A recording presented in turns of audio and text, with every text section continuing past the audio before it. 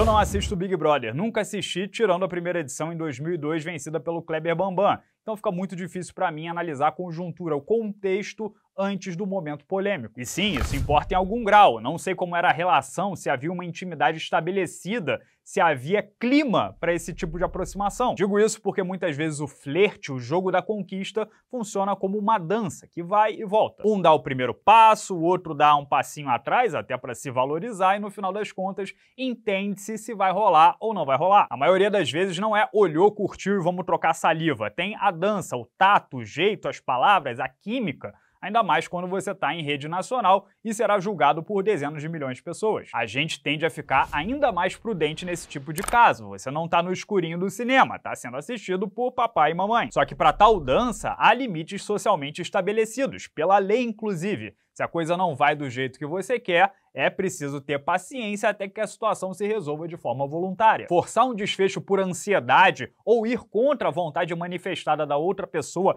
mesmo que você julgue como doce ou joguinho de valorização, pode te levar para os tribunais, inclusive. Aí entra em cena o maldito do álcool, que atua diretamente no sistema nervoso central, acaba com a inibição, diminui consciência e a resposta a estímulos. O Big Brother, claro, faz de tudo para estimular todo tipo de confronto, cisão e polêmica. É disso que o programa sobrevive. É por isso que certos perfis são escolhidos e é por isso que tem bebida liberada lá dentro. Eu sempre acho que em primeiro lugar vem a responsabilidade individual. Se você topa ir para esse Big Brother e beber álcool lá dentro, você está rolando os dados para ser maciçamente julgado. Está mais à mercê do que nunca dos seus próprios impulsos. Então, quando Antônio Carlos Júnior, o cara de sapato, depois de beber numa festa, sente que há abertura e tenta beijar a modelo mexicano mexicana Dania Mendes e ela diz não, vira a cara e ele insiste, se faz parte da tal dança ou se há de fato uma importunação sexual, e esse foi um inquérito aberto pela Delegacia de Atendimento à Mulher em Jacarepaguá. Só a moça, a Dania Mendes, de fato sabe, mas a interpretação vai ser de toda a sociedade, do público que assiste Big Brother. Pelas imagens que vi, por um lado ficou claro que ela não queria beijá-lo ali, pelo menos naquele momento. Mas por outro lado, ela também ficou abalada com a expulsão do Sapatito, disse que não pediu aquilo, que entende a expulsão, mas que não viu maldade na ação. O próprio Tadeu Schmidt, apresentador do programa, deixou claro que a decisão foi da emissora e não algo que a moça disse. Acho que no final das contas a gente tem que pensar da seguinte forma: se aquela mulher fosse a minha filha ou a minha irmã, seria fácil de digerir? Cara de sapato errou ao avançar o sinal depois da mulher claramente ter dito não. Errou mais ainda ao imobilizar uma mulher que acabou de conhecer, simulando uma posição de jiu-jitsu chamada knee slice. Aí tem gente que vai interpretar essas cenas como o cúmulo do assédio e tem gente que vai achar que foi parte da dança, não tem nada demais. A grande questão é o que a moça achou. Ela estava se sentindo cortejada, como se fosse parte de uma brincadeira, ou assediada? Isso é o mais importante da equação. Será que ela botou panos quentes porque se sente acuada,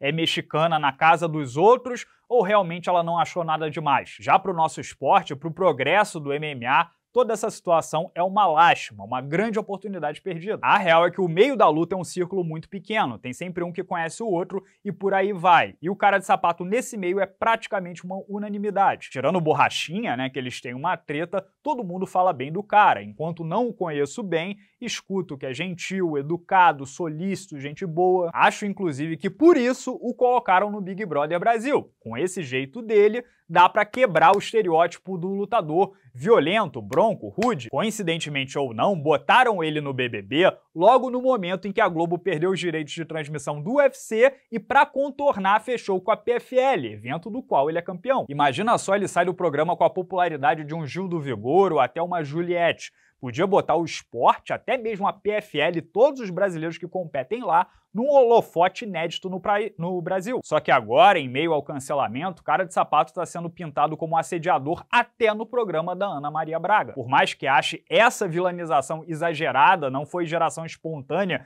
teve um contexto, ele também foi estimulado no momento, repito, errou ele se colocou nessa berlinda. Um homem de 33 anos não é garoto, muito menos inimputável. A esperança era fazer o sacrifício de interromper a carreira no auge, deixar de competir em 2023 pelos 1 milhão de dólares da PFL para virar celebridade nacional e botar o esporte em outro patamar. Agora o preço a ser pago pode ser dos mais altos. Vamos ver como a situação é resolvida. Espero que tudo fique bem para a moça e para o sapato e que todo mundo arque com as suas responsabilidades. E claro, esses são apenas os meus dois centavos, o meu ponto de vista.